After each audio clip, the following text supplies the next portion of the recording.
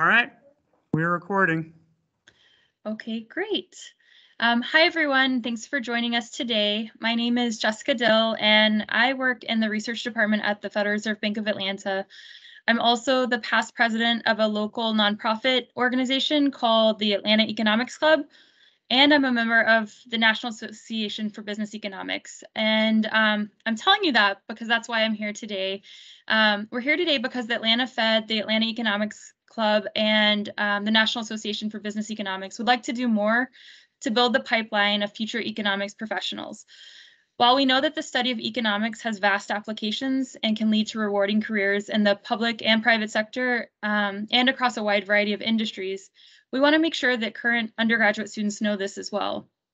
And that's why we've partnered with uh, local student econ clubs um, at Atlanta area colleges and universities. We're calling this partnership ECOI, um, it's descriptive, not witty. So it's it stands for the Econ Collaborative of Atlanta Area Academic Institutions.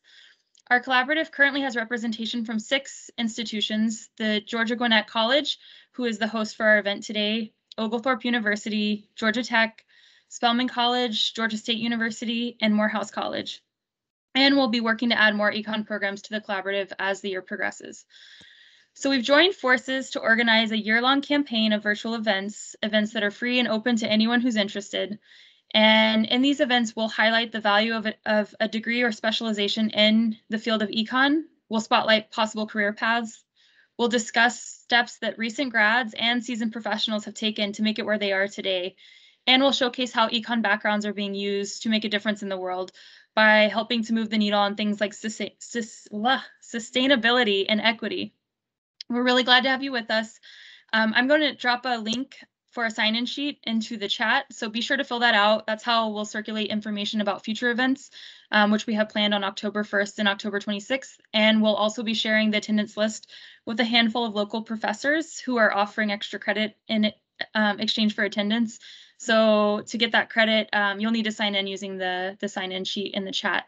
Um, so with that introduction, I'll go ahead and turn things over to my Atlanta Fed colleague and the moderator for today's event, Megan Hauk. Megan, go ahead and take it away. Thanks, Jessica, for that introduction. I appreciate it. Um, so we'll just go ahead and dive right in here.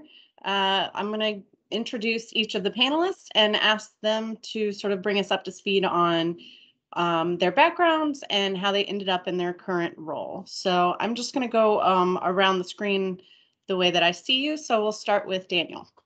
Daniel, what is your background and how did you end up where you are today? Thank you, Megan. Um, hello, everybody. Thank you for joining us. Once again, my name is Daniel Buitrago. I um, currently work as an economic analyst for Southern Company, which is the holding company for Georgia Power. Many of you probably pay your bills through Georgia Power, so Southern Company is the umbrella uh, over Georgia Power and a couple of other operating companies. Um, I studied economics at Georgia State University on the business school. Uh, only had my undergrad and then ultimately was hired as an intern for Southern Company. Thankfully, got turned into a full-time position and have been there for three years now. Great, thank you, Daniel. Um, now I'll turn it over to my colleague at the Fed, Neil Desai, and ask you the same question. What is your background and how did you end up in your current role? Great. Thanks, Megan, and good evening to, to everybody. Um, make sure you get that extra credit. That's probably the main reason most of you are here. Um, so uh, I, I, work at the Fed, as Megan said, and uh, I'm in the supervision and regulation division. Um, basically, we supervise banks and make sure they don't do the kinds of shady things that they did back in 2008. So that's kind of what uh, what I'm I participate in. Um, when I started college back in 2005, uh, I actually had dreams of uh, becoming a doctor, and so I'd enrolled in pre-med. Uh, at the same time, I was doing uh, economics as kind of a, a minor. Uh, very quickly, I realized that uh, my aptitude was not suited to to medicine, and so I decided to lean in a little bit more on the the econ side, given kind of my tendencies towards math and analytics. So ended up getting a, a, a major in econ, uh, graduated in 2009. Of course, in 2009, we were in the middle of a pretty big recession. And so it provided uh, kind of that slight nudge I needed to go ahead and just uh, enroll in a master's program. uh, to kind of delay the clock, if you will, on the on the job market. Um, so I did my master's, graduated uh, at the end of uh, 2010, and then joined the Fed in the research department, which is where Megan and Jessica are. Uh, in 2011, uh, I did the research analyst role at the Fed for three years, which was fantastic.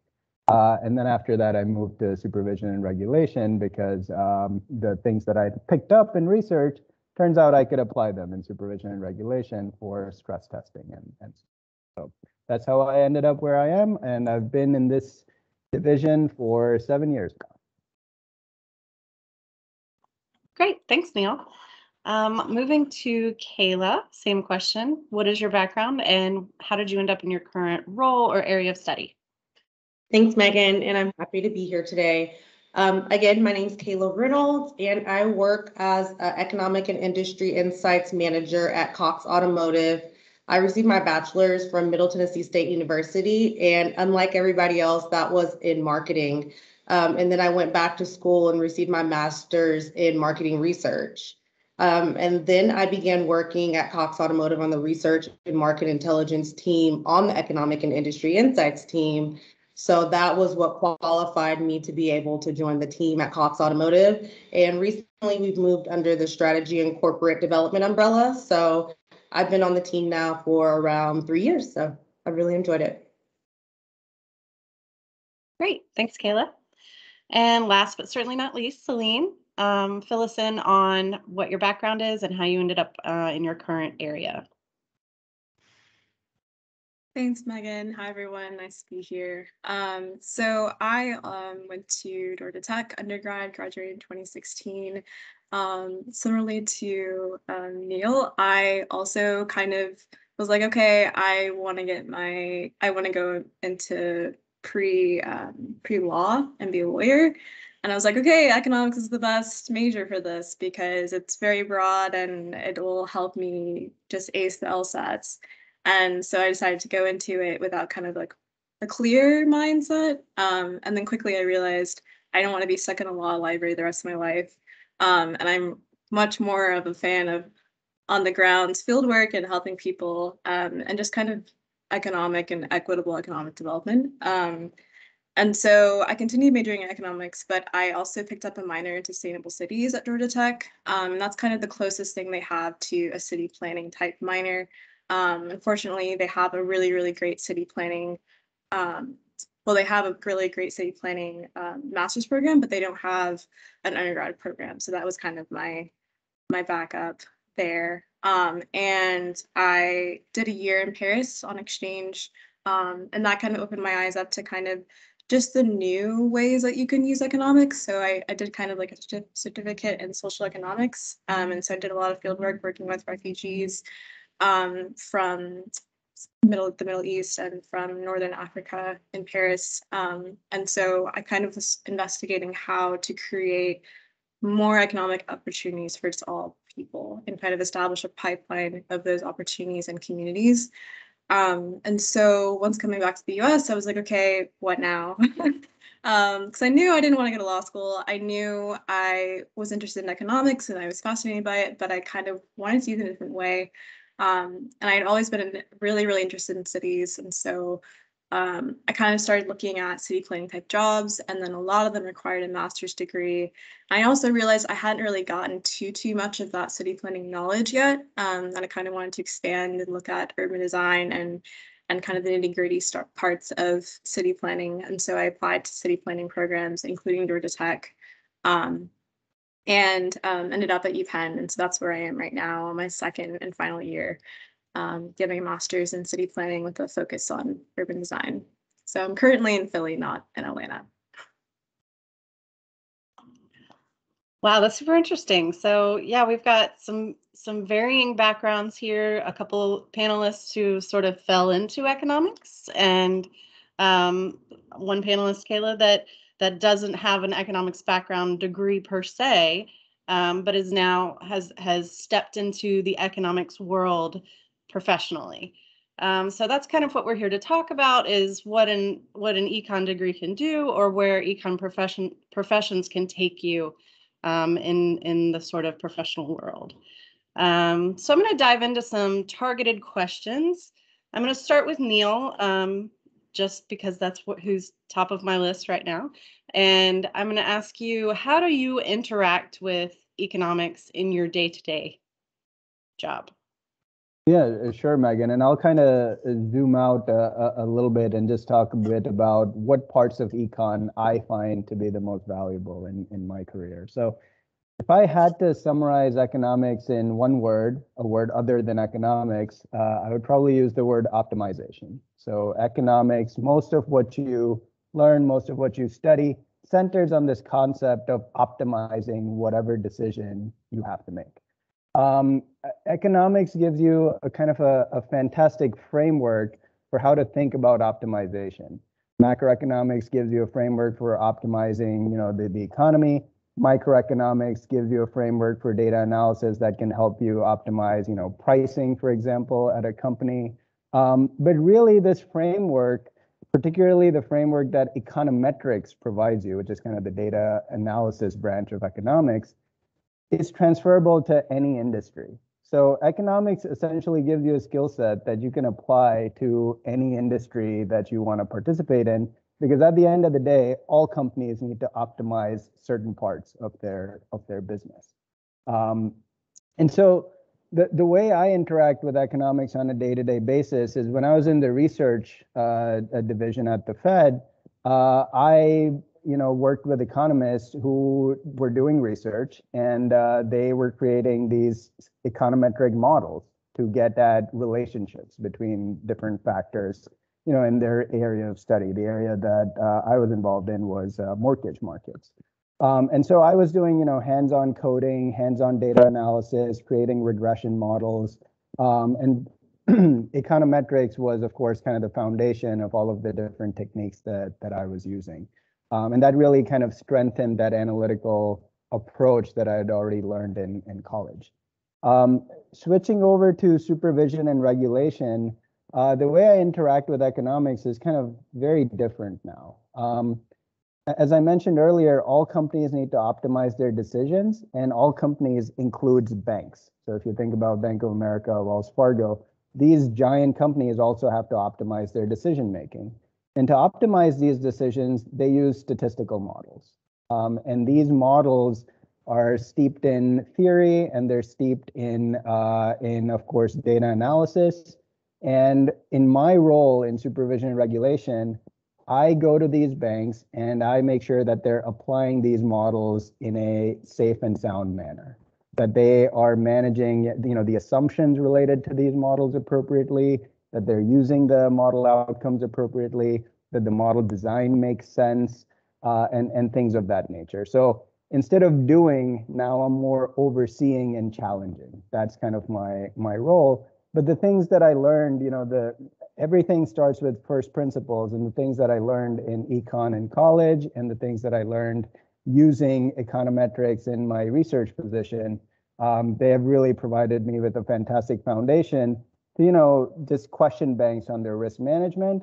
And in general, it's actually just kind of trained me to question anything that people have to say.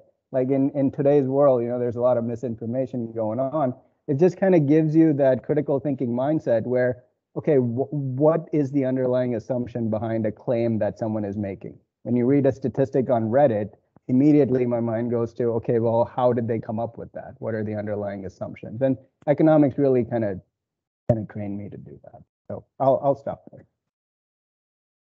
Great, those are really important points. I think it's good to point out. Um, obviously, everyone wants to optimize what they're doing in their day to day.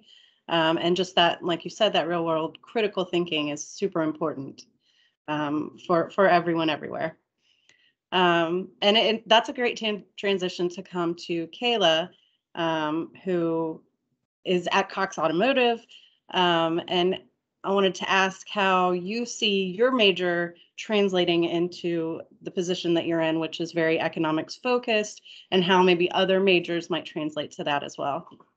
I think Neil gave the perfect segue into this as well, where my master's in marketing research allowed me to gain a lot of the critical thinking skills needed to be hands-on in the economic field. So, you know, he was speaking about modeling and regression modeling, like with statistical and data analysis. Once you're using tools such as SPSS and whatnot, you're able to translate that into other fields or other majors such as economics. So that gave me the ability to have rigor when I'm doing the data analysis. So I didn't understand it when they hired me. And I think a lot of people didn't understand it either because the furthest I went into economics was taking the micro and macroeconomics in business school.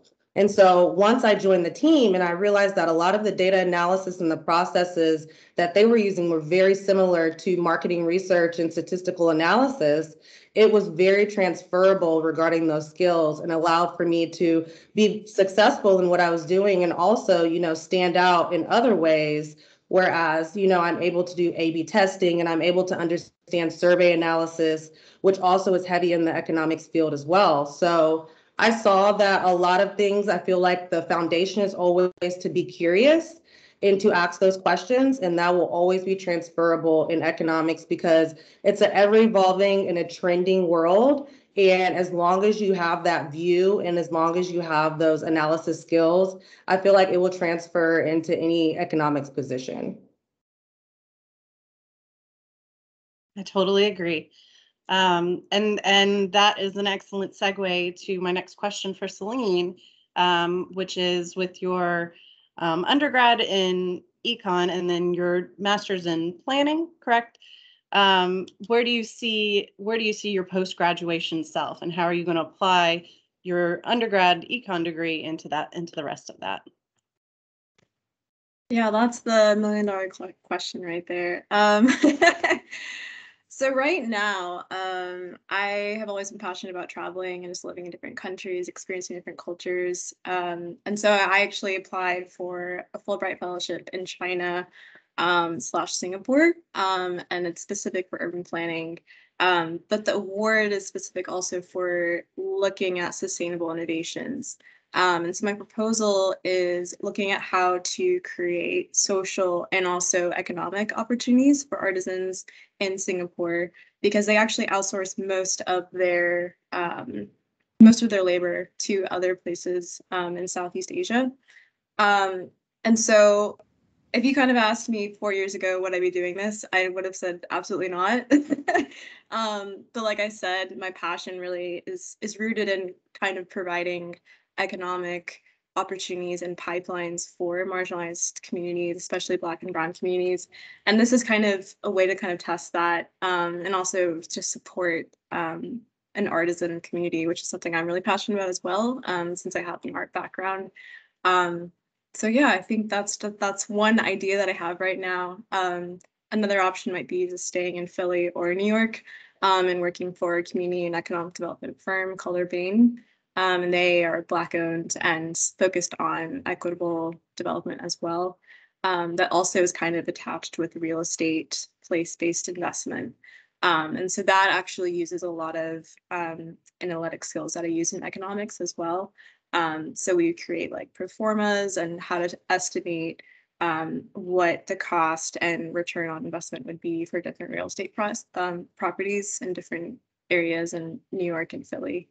Um, so that's a long-winded answer to a few options I'm looking at right now. But yeah, check in in three months. Maybe I'll have a better solid answer.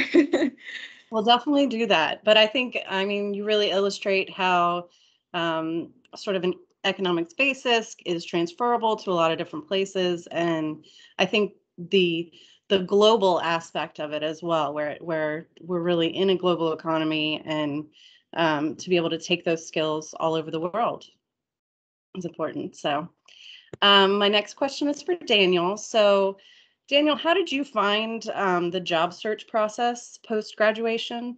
And what expectations did you have about the field um, that you went into, and has anything surprised you? Sure. Thank you, Megan. Uh, well, while I was at Georgia State University, I originally actually didn't, I think, know what I wanted to do, like many of us probably on the call. Um, so don't be scared. Uh, I actually, my first couple internships were more sales oriented, uh, account manager type of uh, role that would pop up right after college, more of a marketing role. but I knew that I wanted to touch up on my analytical skills. So that's where, and since high school, I always thought, since the econ class I took in high school, I thought econ was really interesting and really cool. Uh, but never really thought about it as a as a major because I didn't think my math and analytical skill set was up to par to what was needed. Uh, but around halfway through college, I decided to go through the business side of, of economics, which wasn't as extensive on the math and statistical side as as the uh, uh, science piece, where you had to take more econometrics and, and more of those classes. Um, so I decided to go that path with with the goal of building up my anal- analytical skills, but also saw that there was some presentation side of of that major that I enjoyed, uh, which is what I had truly wanted to do is more face-to-face interaction, more client-face interaction.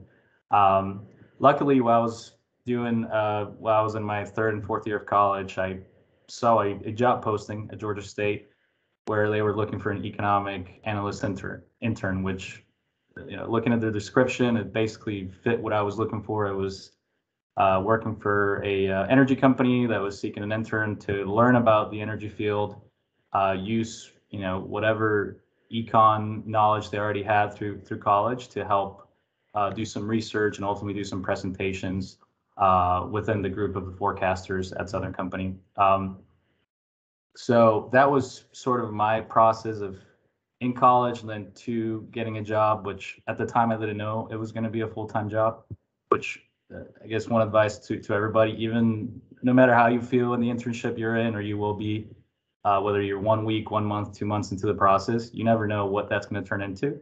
So I think it's always good to have an open mindset and a positive mindset uh, and give it a little bit of time if, if it takes a little bit more time to, to warm up because it could lead to a full-time job and potentially could lead to, to your whole career. Um, now, what expectations did I have about the field and, and what surprised me?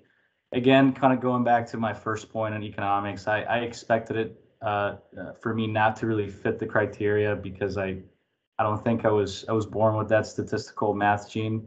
Uh, but I did see that there was a skill set needed in that field, whereas you're you're talking about you're you're telling the story of whatever economic research, economic analysis that is presented. You need somebody needs to tell that story to an audience that is not necessarily uh, well read or has an econ major, and that's going to be a lot. A lot of a lot of my day to day at work at Southern Company is tailored to those type of audience.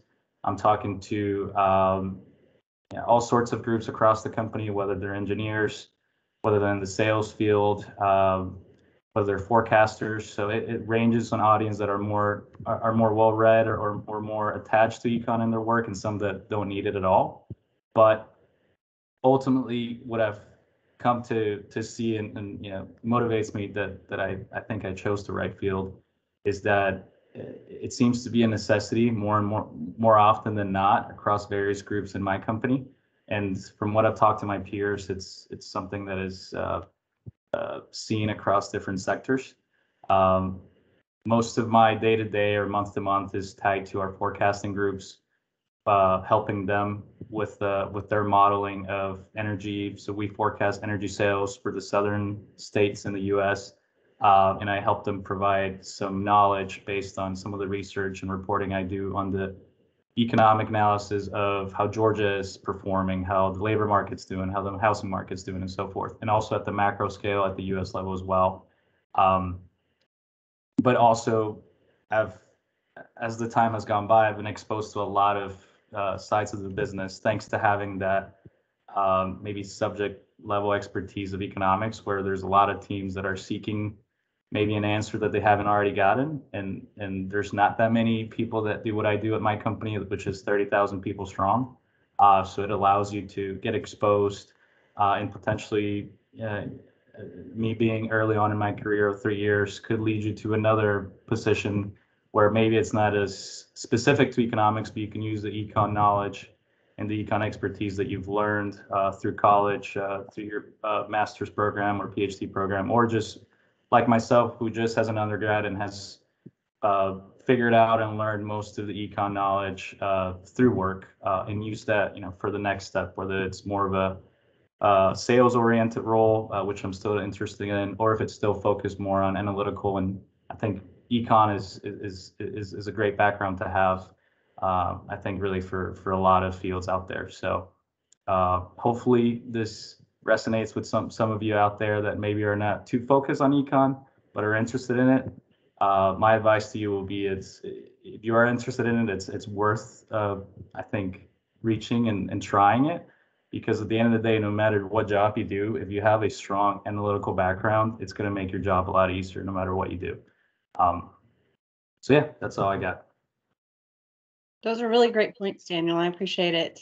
Thank you. Um, Megan, I'll just I'll just add on to uh, what Daniel said. Uh, the, the the communication aspect that Daniel mentioned, I cannot emphasize enough how important that is in whatever role you have. Like if you are capable of understanding complex analytical topics and then translating them for an audience who is not in the same field or not at that same level, you will be loved by all your colleagues, all your uh, you know peers, the audience, and your manager. Everybody will love you because everybody needs that kind of uh, bridge maker, I'll call it, where you gotta kind of close the gap. So I think Econ provides you with uh, kind of the analytical uh, tools you need.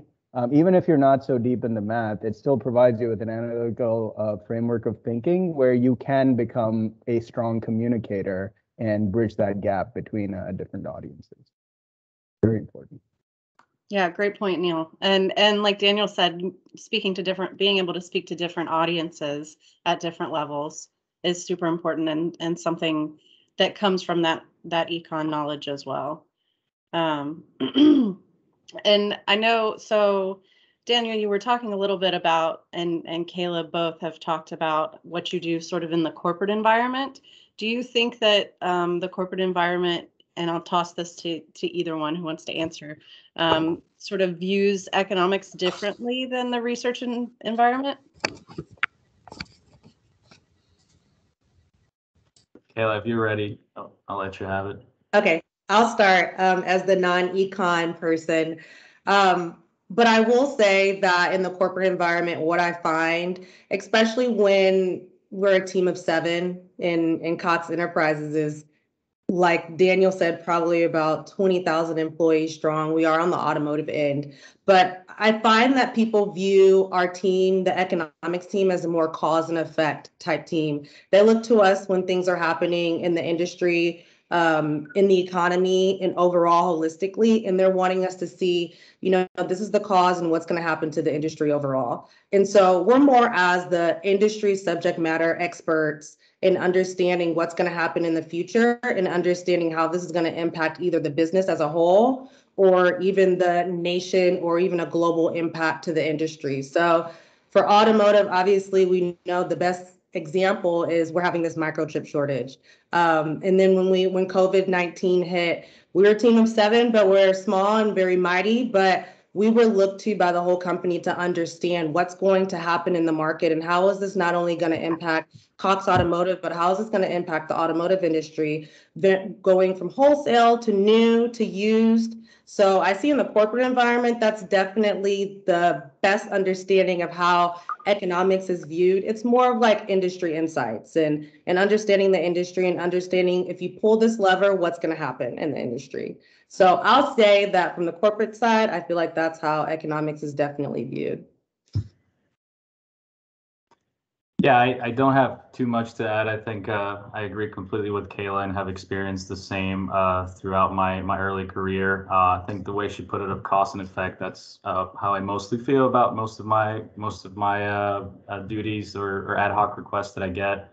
Specifically over this past year and a half with COVID and, and, and the pandemic, there's been you know way more demand from teams that I hadn't met or hadn't heard of before, where they're seeking uh, a story or uh, you know, some sort of explanation as to why X, Y, and Z is happening in their side of the business within the energy sector.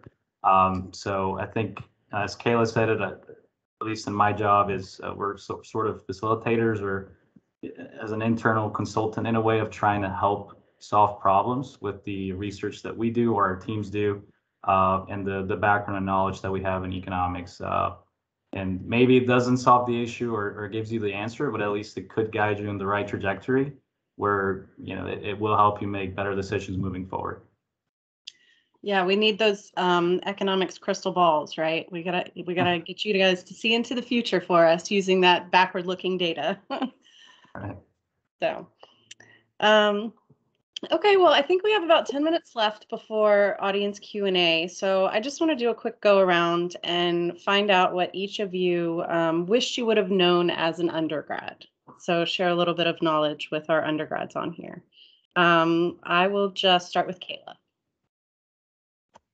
I will start. So, what I wish I would have known, especially as a woman of color and going into a more rigorous field, is definitely not having imposter syndrome in the industry. I think that's probably one of the biggest things that impacted me in the beginning. That was the reason I chose marketing as my undergrad. Um, was just because I felt as though I could not fulfill the needed responsibilities for a more rigorous position. Um, I was asked, I got I had flying colors in both of my economics classes, and I also had flying colors in my accounting classes. And both of those businesses asked me to transfer over, but it was more of imposter syndrome for why I did not.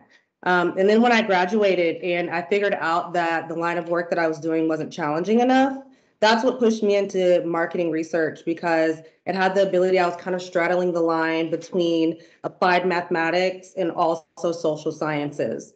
And it was very, cha- I'm sorry, that's my daughter in the background if you guys hear, but it was very challenging, of course, in that aspect. And so that's my biggest advice is don't have imposter syndrome, especially in the corporate world. You're going to have internal and external clients who are going to be looking to you for subject matter as a subject matter expert and you know what you're talking about and you understand and you know the environment so don't question yourself. Um, you're in this field for a reason and of course you're here for a reason. You're joining our meeting for a reason. Um, so i just encourage you to be confident in your abilities especially going into the um, job field when you graduate Really, really great advice, Kayla. Um, I will move to Celine next. What do you wish you knew as an undergrad? Yeah, so um, I would say just don't be afraid to try new things. And this is like very stereotypical, but follow your passions. Um, I feel like now, unfortunately, a lot of people, I see this, um, especially even in college, I saw this. People were focused on what they are already good at and not what they can be good at. Um, and I think there's a difference between like passions and, and what you your natural ability is. You don't wake up just being passionate about piano. You kind of listen to piano and like dabble, and then you get passionate about it. And I think exploring those is so incredibly valuable. Um, and even applying your passions to economics, um, where however that may be, is just so important. Um, and that's kind of how I got to where I am. And I'm extremely, really, really proud I was able to do that. But I kind of wish I knew that freshman year and started doing that even in high school. Um, so I, I, I hadn't wasted as much time. Um, so yeah, just try write down what you're passionate about and then see where the gaps are or even how it's connected to economics or even what you may want to do um, and just try them out because you guys are so young and you have time to mess up um, and try new things and that's the beauty of of being in school so Yeah, I really like that point about talent versus just hard work. You, re- you really you have to have something you're interested in, but you don't necessarily have to be good at it right off the bat, which kind of goes back to imposter syndrome a little bit as well. Um, so I will move to Neil now. Neil, what do you wish you had known as an undergrad? Yeah, so I'll, I'll, I'll say a couple of things. Uh, number one is uh, do what you want to do, not what uh, not what other people think you should do. And as an example, you know, when I decided that pre-med was not for me, pretty much everybody kind of pushed me in the direction of like, hey, you should do accounting. And from a probability perspective, sure, I mean the likelihood of uh, of getting a decent job was actually pretty good if I had done accounting but I knew that I, I, couldn't wrap my head around accounting. Like it was just not for me, and I probably would have jumped off a bridge if I had to do it. And that's just me. I'm just speaking for myself. My wife is an accountant, and she's upstairs listening to me right now, and she knows how I feel. So, um, anyway, uh, so everybody was trying to get me to do accounting, and I said, "Well, this is just I'll be miserable if I do this," and so I did economics instead. And you know, it, it, it, it worked out for me, but I think it's just a little anecdote to say, you know, people might be telling you what you should do, but go with what you feel like is the right thing for you. Um, the second thing, if you find out that economics is the right thing for you, then um, uh, things worked out for me through sheer dumb luck in the sense that the skills that I needed, I really picked up uh, during my master's course. But as an undergrad, what I wish I knew was, you know, don't ignore econometrics. Econometrics provides you with a really, when I say econometrics, I'm talking about like things like regression analysis and associated inference. Um, what it gives you is a skill set and a foundation in data analytics that you can apply at literally any company you choose to work at.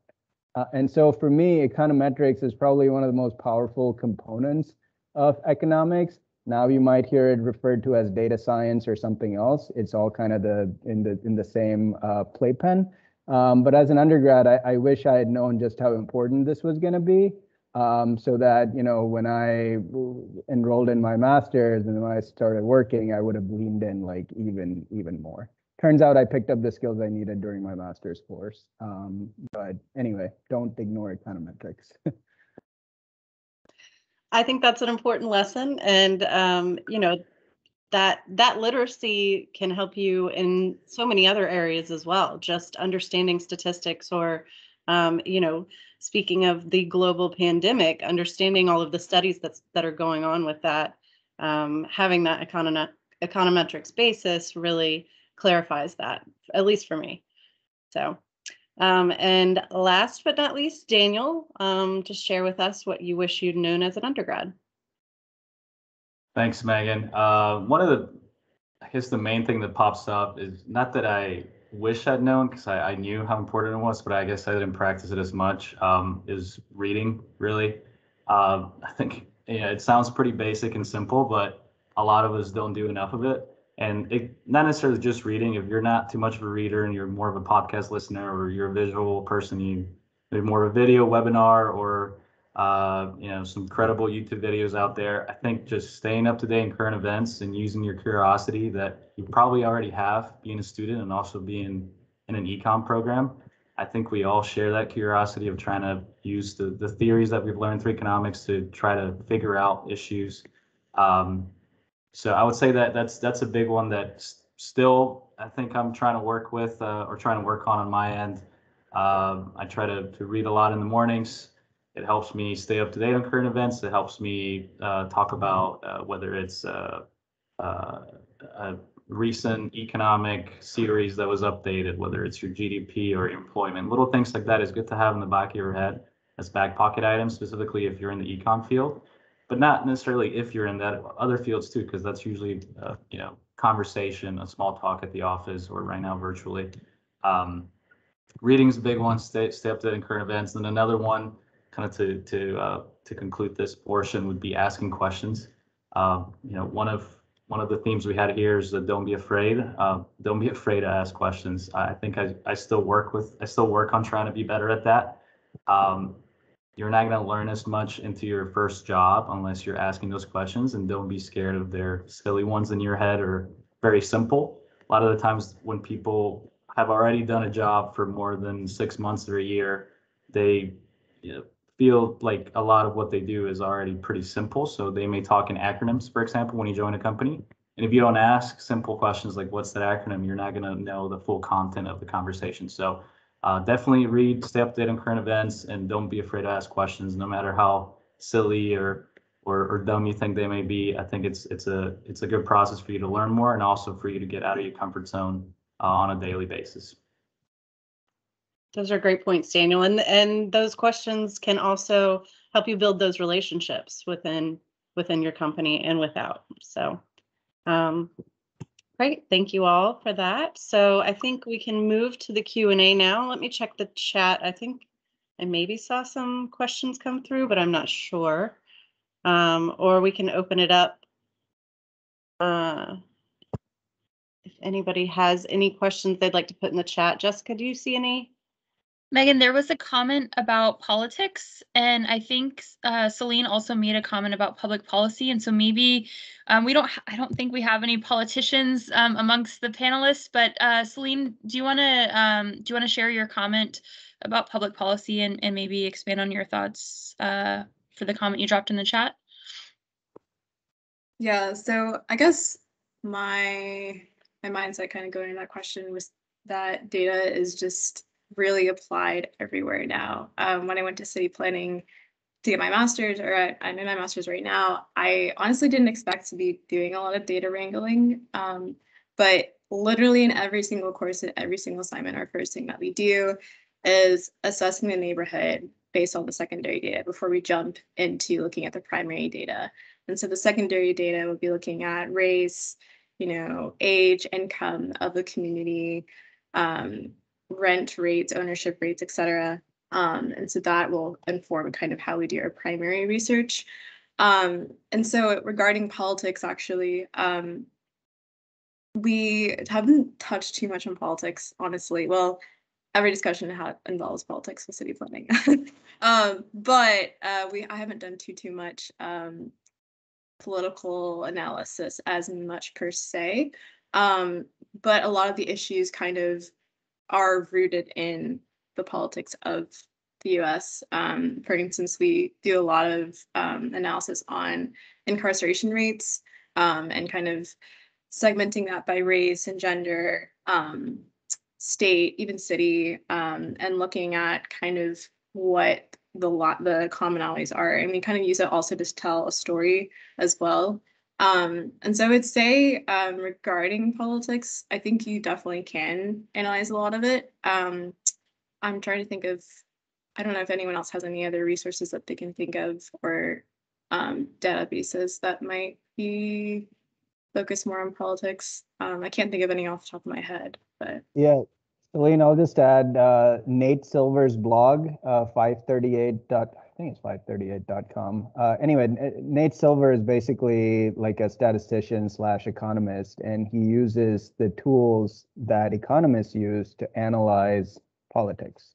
Um, now, it's not, you know, it, it's not the issues that Celine mentioned, um, like incarceration, although they do have some one-offs on that stuff too but it's a free blog 538.com uh, check it out and it can show you how the skill set that you might pick up in economics you can apply it to literally any domain and in this case it would be politics And I think I would just add that um, economics and politics are are very intertwined. I mean, you're not you're not going to meet a politician that it doesn't talk about the economy in some some way, shape, or form. Whether it's you know how immigrants affect that, um, stimulus. I mean, there's just it's it's very much intertwined. So um, understanding the economy is really going to help you um, understand a lot about politics as well. Kayla or I- Dan, oh, go ahead. I would add to that and also say vice versa. Understanding politics will help you understand the economy as well. Being new to economics, but kind of understanding politics just from a general set has also helped lot in my role with doing analysis where people are asking, you know, how how is Biden's, you know, new bill towards wanting to be fully or 50% electric electric on the vehicle side, how is that going to impact the industry? But also how is that going to impact, you know, state regulations? How is that also going to impact the incentives and the tax um, incentives that states are offering for people when they're buying electric vehicles? So I will also say that like in any aspect or any economic role, you'll see that it's just hand in hand. Um, and back to cause and effect, you know, when things happen in politics, normally things happen in the economy as well. Yeah, and kayla i'll just add that people lie with numbers all the time and so what, what economics teaches you is really to question what's behind the number and how people came up with the number and what inference you can draw from the number so um, Agreed. I think uh, it basically just helps you frame, you know, what the analysis is is telling you. So Yes, agreed. Uh, a perfect example would be, unfortunately, I was um, in the CNN fact check, President Biden's fact check for, I think, something he spoke about for electric vehicles, and it wasn't correct. And so, unfortunately, I was the one quoted in the fact check, but that's showing that, you know, numbers don't lie, but sometimes politicians can. So, you know, numbers don't lie and the economic numbers definitely don't lie. So I will say that it's, like you said, always hand in hand and data is the most important. Can I jump in here? Um, Megan is our um, moderator, but I don't think she introduced herself properly. And I think that um, so Megan Megan has an undergraduate degree and then worked for several years and went back to get her master's. And I I think that that represents a demographic of students that might be on the line, students that may not have gone straight from high school to college, but may have started working and then and then made a, a decision to go back and pursue a degree, whether it be undergrad or graduate. And so I'd just like to ask Megan um, maybe to share with us what inspired you to go back to school and how's that experience been um, for you to get a master's degree in econ? Sure, I'll take a panelist chair briefly. Um, so I, uh, three years ago, I started in the research department. I started at the Fed um, in sort of the um, facilities department, event management, and moved into research, which I'd always had an interest in. Um, and when I moved into research, I started sitting in on economic briefings. And Kayla, you talked about asking questions, but it really wasn't appropriate for me to jump in and say, what does R star mean? Um, so I just started writing these things down and realizing um, sort of the depth of knowledge that I was missing. And that's where um, I stumbled on a uh, fully online program that was that was really easily integrated integrated into my work life and so I was able to continue that somehow through the pandemic and two children trying to Zoom educate them. uh, that didn't work well, but um, I was able to keep that going, and so that's kind of where where I ended up. I'm just about to finish my applied economics master's.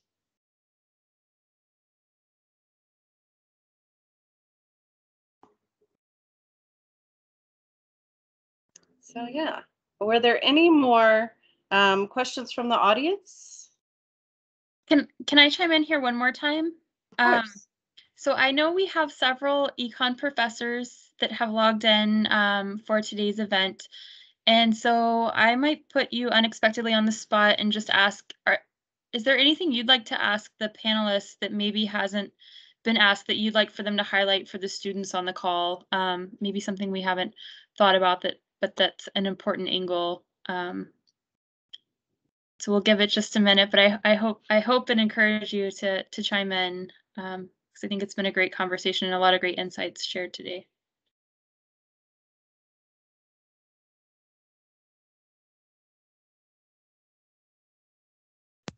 I'll go ahead and ask a question. So um, I am Celia Urmanbetova from the School of Economics at Georgia Tech everybody hi who is here from Georgia Tech, uh, Yellow Jackets Rock. and um, I have a question for you in terms of networking. So we hear that for particularly for finance and business majors, networking is very, very important. And um, I think that they have this um, model or the mechanics of networking um, really down, right, in the business schools and the business curriculum. If there is anything that you wish you learned in school um, in terms of networking, the value of networking, how to network, would be like one or a couple of pieces of advice that you would love to share with our students. That would be great. And for us too. I'll start. Um, when I, my perfect example is when I started going to Atlanta Economic Club meetings um, in person prior COVID. Um, I was very, very intimidated by the intellect and by the knowledge in the room, but I feel like in especially the economy field, people like to get asked questions and people like to have discussions. And that will be what a lot of these people that could actually get you in rooms and open doors and speak about you in other rooms that you're not in once you start those discussions, like they're going to remember that. And once you ask them these questions, they're also going to remember that. So they understand that you're a student and they also understand that you may be new in the job field or in your career, but I feel like economists are always open to help and ask questions and give insight. So just don't be nervous or be timid about asking any questions or asking for help or even asking just for networking or you know, advice or resources. So that'll be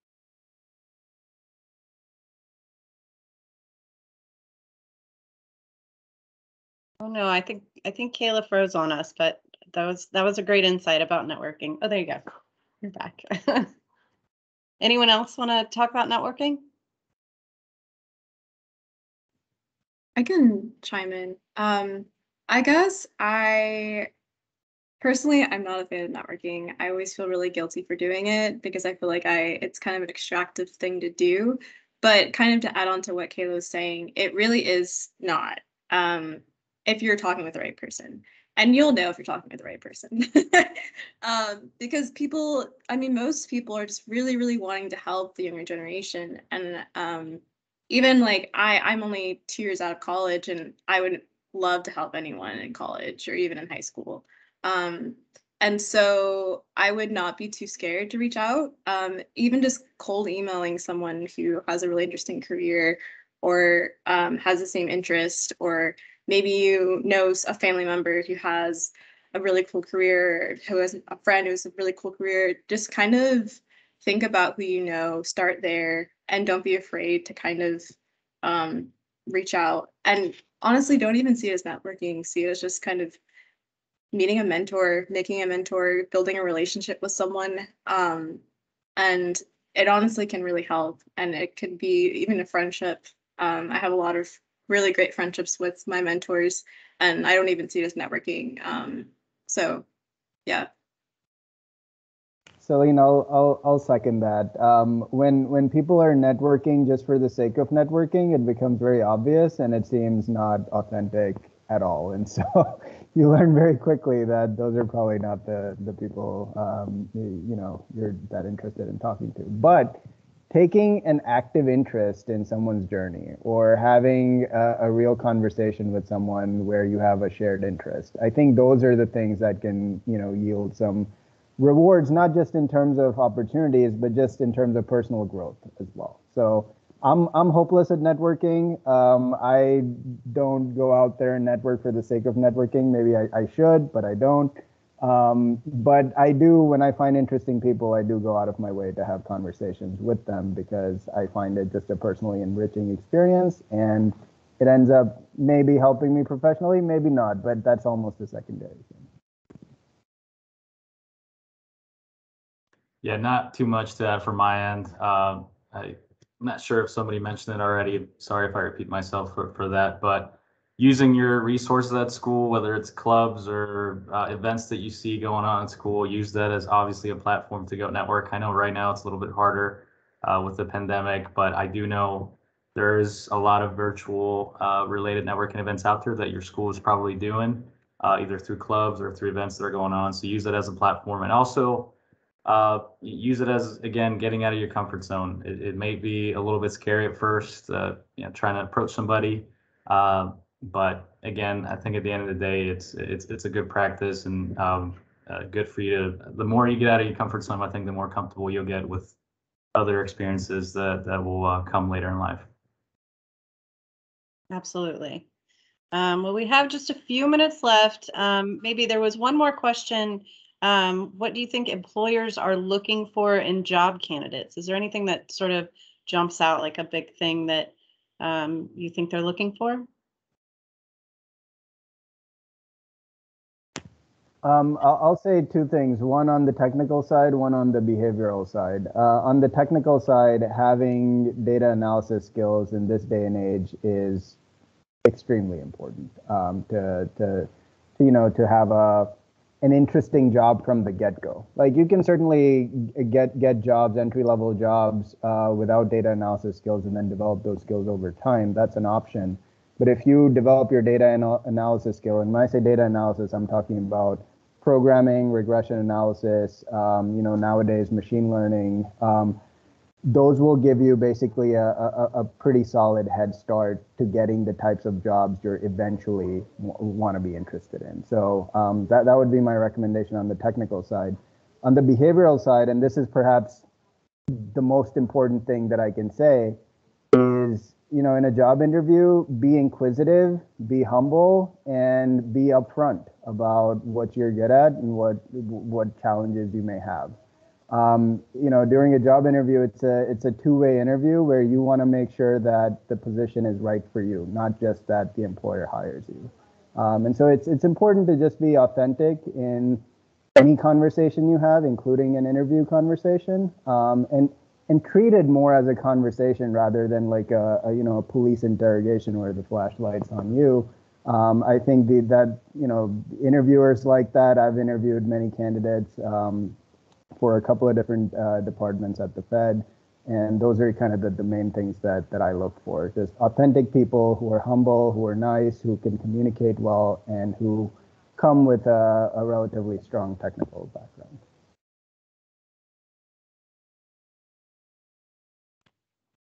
Okay, great. Well, that's a good note to end on. Some good advice. Um, thank you so much to our panelists. We really appreciate you all being here. Um, and thank you to everyone who attended. Hope you have a good evening. Bye, everyone. Thanks. Thank you. Bye. Thank you Bye. for coming. Thank you for organizing. Thank you, Jessica. Thank you, Megan. Thank you, everyone, for coming. Thanks.